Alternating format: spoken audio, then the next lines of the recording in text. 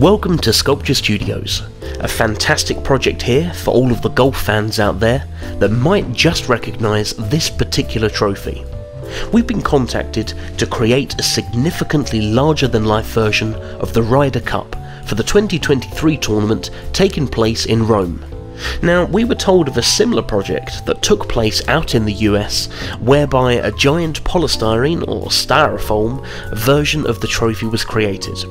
This is essentially what our client would like also, but we're going to be creating this from glass fibre for more longevity. Not only is this going outside and we're building this to last, but we'd like to think that we could possibly top this US version, so let's see how we get on, shall we? Nothing like a bit of friendly competition. We've been sent a version of the trophy to the studio for us to take some proper reference shots. Yes, I suppose this could be 3D CNC cut, but that's simply not really the way we like to do things here. Come on, you know us better than that by now. All of the elements are going to be created by hand, sculpted, turned on a lathe or an actual turntable, moulds created and glass fibre casts, everything assembled and cleaned up with metalwork inside, and you guys are coming along for the ride. After a meticulous look at the trophy and scaling this up with a ridiculous amount of measurements, we're ready to start blocking this out. The only element that we're looking to have 3D printed is the little golfer standing at the very top.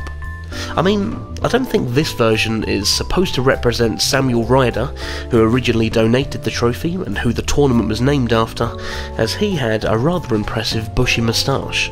But we wanted to make sure that we were creating exactly what the client was looking for, so this little golfer is going to be printed, stood on the top, and then finished in the same gold.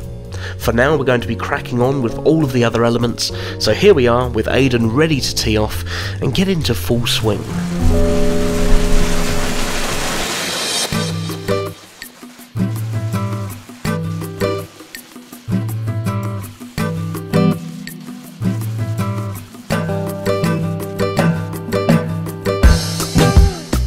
There's always something therapeutic about turning something like this.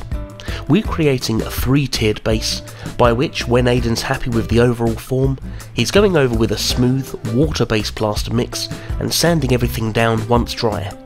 Aside from the little golfer, all of the elements you see in this project video will have a mould made, by which we can then produce a hollow fiberglass cast. It's best to clean up all of the master patterns as much as possible during these softer polystyrene stages, and this saves on any unnecessary harder work at cleaning up the fiberglass later on. Aden uses a variety of hand tools like nail and wire brushes, saws, rifflers and sandpapers to first rough out the form and then work it down to a smoother finish before the plaster. Though hand creating all of these elements does take some time, if this were to be 3D CNC cut, you'd still need to have a suitably accurate 3D file created of the trophy form. This would then be cut accurately, but it by no means ensures that it's going to arrive at our studio in perfect condition. This will still need to be sanded down to remove any join or router lines before it's then ready for moulding.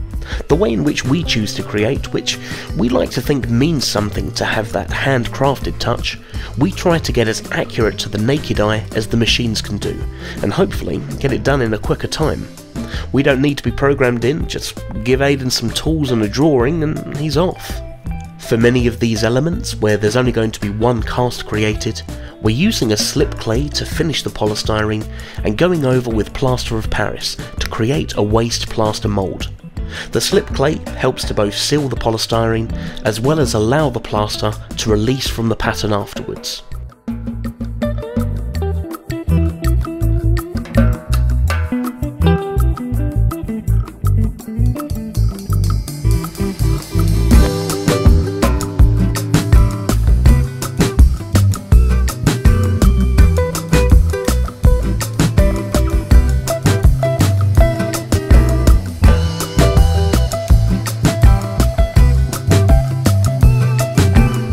The moment, it's tricky to work out at a glance which element is which and what will go where on the finished trophy.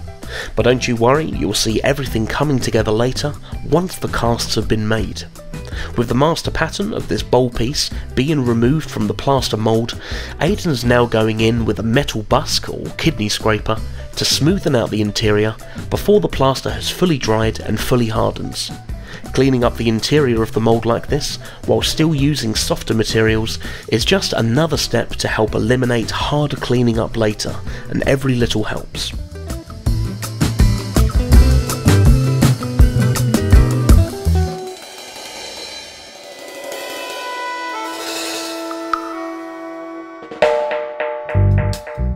For some of the more intricate work, clay detailing is being modelled before the mould is taken. There are numerous areas around the trophy where either clay or a plasticine sculpt is required to achieve the level of detail that we're after. When it comes to editing and putting together a project video like this, I specifically choose music tracks that I feel fits the mood or the style of the piece that we're creating. In instances like this though, Aden just loves a bit of reggae.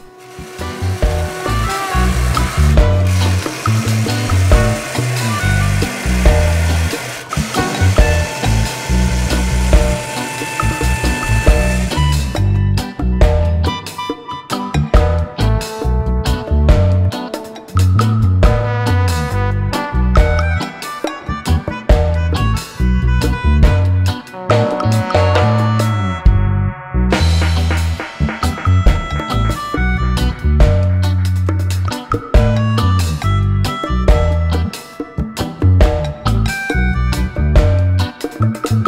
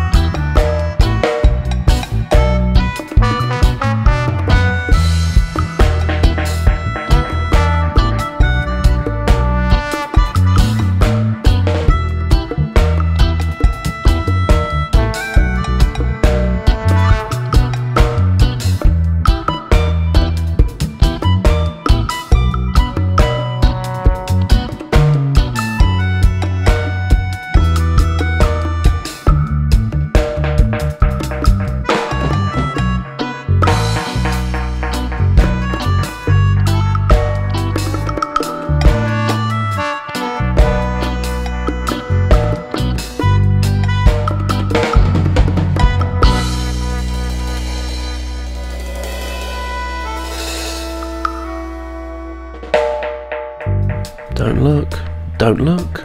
Don't fall for it. Don't do it. Don't. You looked. Though these clips are flicking back and forth between various elements that are all being created simultaneously, this is just to show how much work, how many processes, and simply how many pieces it takes to make something as intricate as this trophy. The underside of the main cup section has smooth, rounded, almost scallops taken out, and similar but less exaggerated detailing on the top of the cup. The main stem is a multifaceted octagon shape with four lion heads adorning the top of the collar. The lion, eagle and flag logo is a 3D sculpted element on the front of the cup. The foot of the trophy has an almost leaf detailing going all the way around, and the handles on the top section are an elaborate, almost floral decoration. Each of these areas we're trying to pay particular attention to, to essentially go above and beyond what our client is expecting. If they have the polystyrene US version in mind, we want to give them something a grade higher. With the majority of the larger elements now cast, it's time to begin the assembly. All these little supports are there just to help it while we lift it up on the trestle so we can get underneath and laminate everything in. I think I'll actually drill a hole in here as well somewhere and pump some squirty foam. That will lock that bar in as well, save it even bending. But it'll be good. Now let's go over and see Jess. Oh, Jessica. Yeah.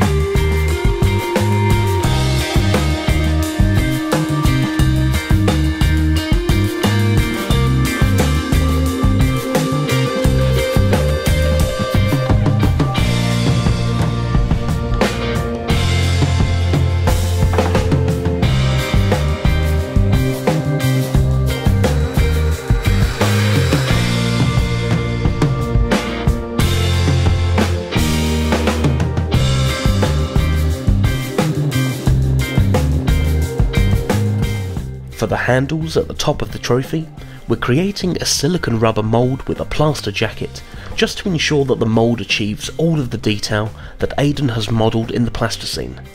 To ensure this has an internal fixing to the main trophy cup section, a steel rod has been manipulated into shape which will be laminated inside each handle. We're creating a square topped wooden base for the sculpture, which we believe will be raised up even higher on a plinth when it gets to Rome. This is just so it's more of an overhead photo opportunity rather than something to climb on. We're currently having a transportation crate made so that this can travel safely, potentially laid down during transit. For the circular, three-tiered base section here, Aden's going to embellish this a little with a bit of airbrush work to create a mahogany grain paint effect finish.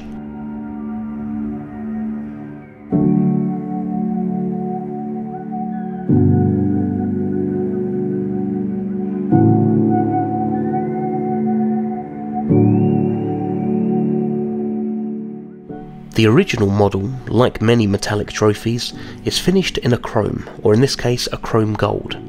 Our sculpture isn't actually going to be this blingy chrome gold effect, but instead the client has opted for a less flashy matte gold spray that'll be easier to clean up and repair should the sculpture ever get damaged. Extra detailing like this wood grain here will simply be a nice finishing touch to accompany this. We're getting down to the final stages of the project here, for what you might call the pretty stuff. Now that all of the fabrication, the assembly, the metalwork and the cleaning up has taken place, the entire surface of the sculpture is given a primer layer of a grey 2K car body paint and is then top coated in the chosen gold. The golfer figure for the top of the trophy has been 3D printed and here he is now delivered to the studio. Hey, looking good.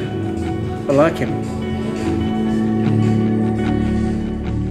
I'm going to be replacing the plastic golf club with a steel rod just to ensure that this doesn't get broken further down the line and then he's going to be fixed on top of the trophy and finished in the same gold as the rest of the sculpture.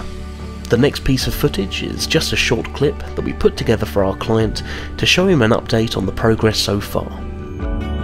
Hi there Bert, happy Friday. We thought we'd just send you a, a little video update. As you can see, it's just hovering off the floor there about a centimetre or so, or not even that, about five mil with little rubber feet. Here on top's the circle. This here, Bert, is the, the base of the trophy itself, and it comes out to here, and that's 10 inches between where it hits it on the minimum point all round. This base is made out of plywood, and it's been um, primed together with an oil-based primer, uh, and it's nice and flat, so that's good. And the metal work goes through here with the bolts, and gets fixed on underneath so the whole trophy and the base is connected together when it goes in the case. So it should be nice and uh, strong to handle. Oh, should we uh, should we give them a little sneak peek of the uh, the base? Yeah. Have a look at this, Bert. I think you'd be pleased with this.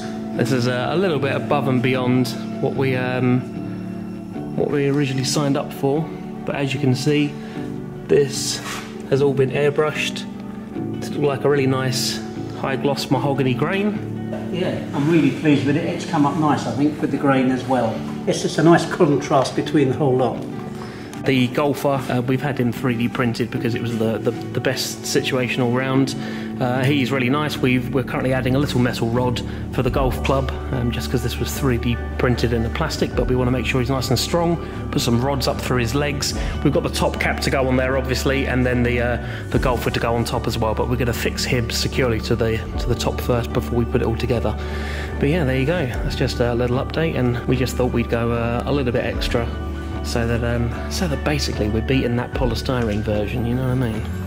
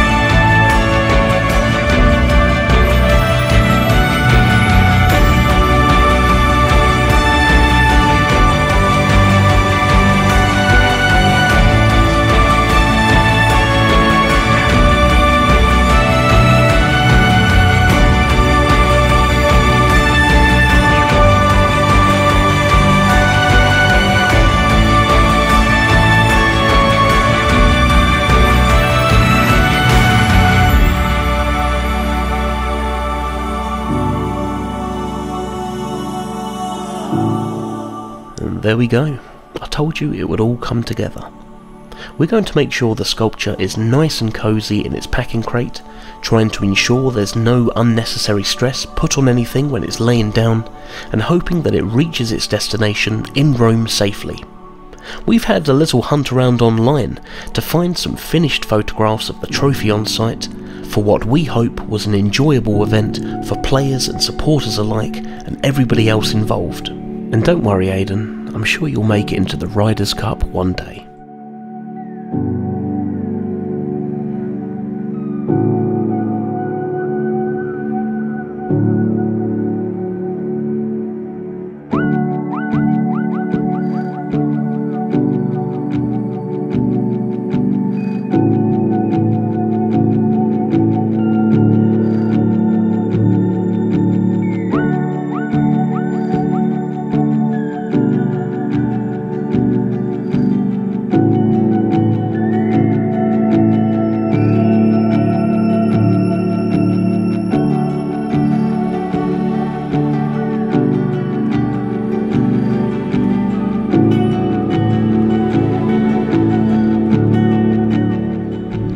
Like to thank our clients at CSM Live for approaching us with the project, and a special thank you to Bert and Johnny for being our main liaisons throughout the process. It would be great to hear from you guys again and see what other projects you may have in the pipeline, as this was a pleasure to create, and it's great to see this out in the public domain being appreciated the way it's intended. We always love hearing what you guys at home think of our projects and our channel, so please feel free to drop a comment below and by all means subscribe and give us a follow on social media.